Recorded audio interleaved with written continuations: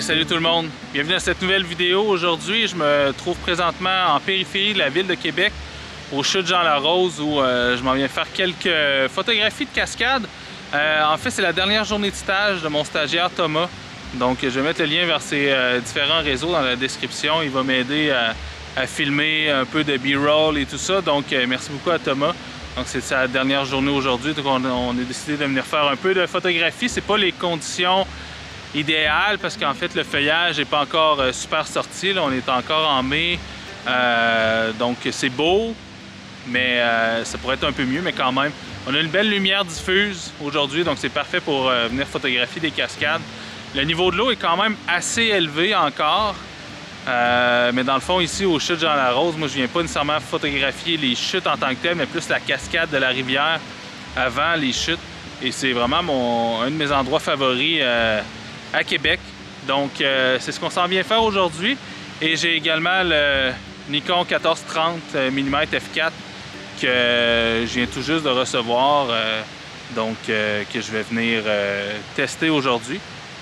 Donc, les conditions, je pense, sont assez bonnes pour aller chercher quelques belles images. Peut-être un peu noir et blanc au travers. J'ai bien hâte de voir ce qui va sortir de tout ça.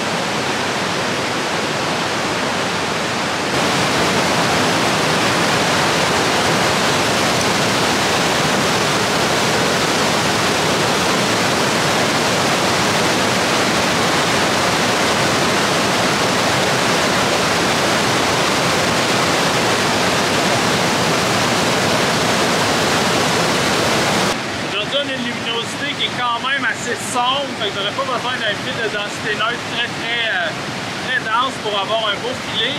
Vous voyez aussi le débit d'eau est quand même très très fort, fait qu'on n'a pas besoin d'avoir un fil de densité neutre qui est très fort, fait j'ai mon polarisant pour éliminer les réflexions dans l'eau sur la roche devant la chute et un fil 3 stop qui va être amplement suffisant pour euh, la situation aujourd'hui.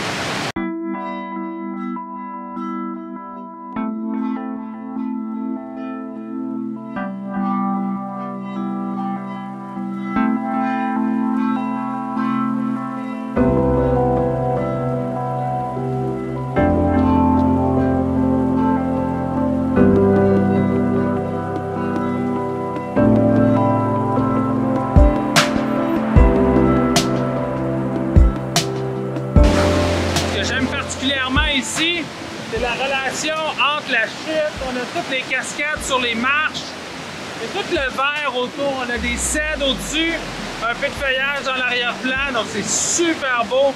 Et c'est ce contraste-là entre le mouvement puis le non-mouvement, si on veut, des pierres, qui donne vraiment un contraste intéressant.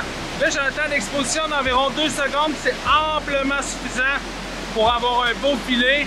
Bon, des cascades où il y a moins de débit, ça prendrait un temps d'exposition peut-être un peu plus long. Il faudrait que je mette un filtre un peu plus dense.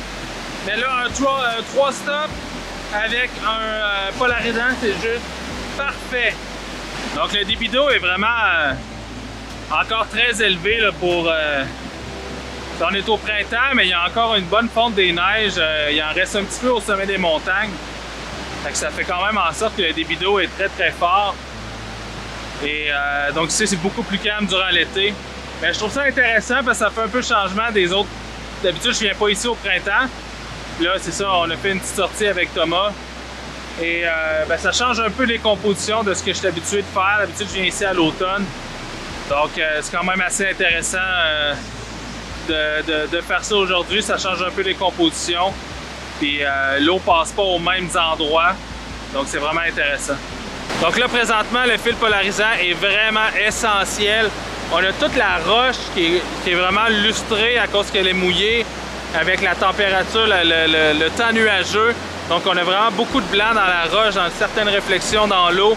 Donc euh, la différence entre une photo prise avec le polarisant puis une photo sans polarisant, c'est juste le jour et la nuit. C'est vraiment, euh, c'est vraiment essentiel. Donc c'est toujours intéressant d'avoir un polarisant dans son sac photo lorsqu'on fait de la photo de paysage parce qu'on ne sait jamais quand est-ce ça va servir. Et euh, donc ça fait un peu tout aller et ici c'est vraiment essentiel.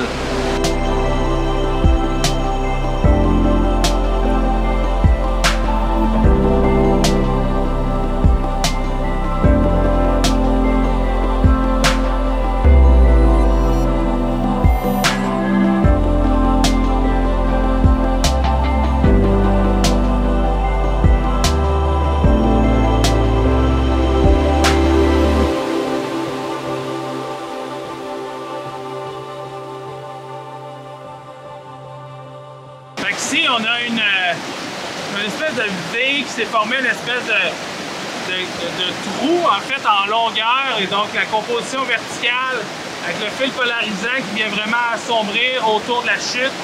C'est super beau. on a un grand cèdre au-dessus également qui vient, euh, qui vient bien compléter notre, euh, notre image. Donc vraiment super top. Belle composition, très intéressant.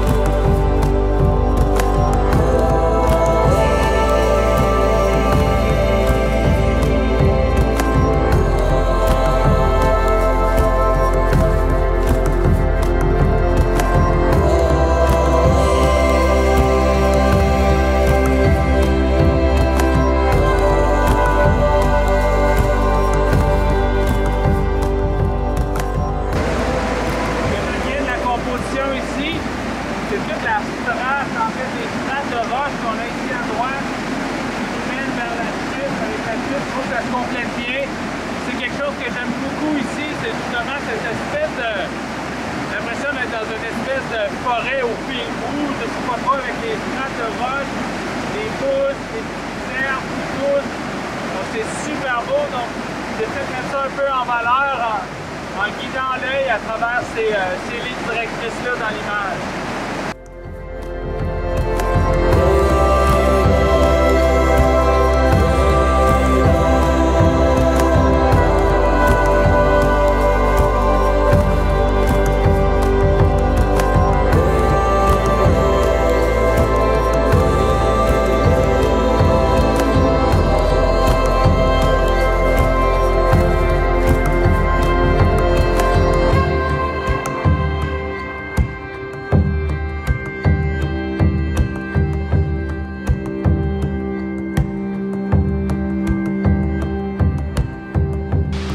Superbe prise de vue avec euh, la cascade puis la petite rivière ici, euh, tout juste avant les chutes Jean Larose. Toujours un bel endroit à venir euh, faire des photos.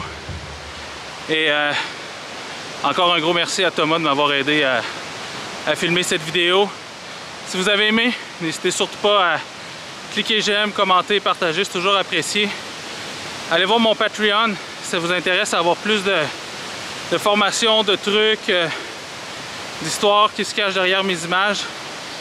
Beaucoup de stock sur ma chaîne Patreon que je roule maintenant depuis plus de, de deux ans.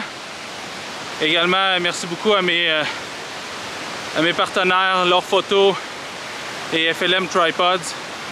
Allez voir les euh, l'Instagram de Thomas. Un petit follow, c'est toujours, euh, toujours apprécié. Puis nous, on se voit à la prochaine. Ciao tout le monde!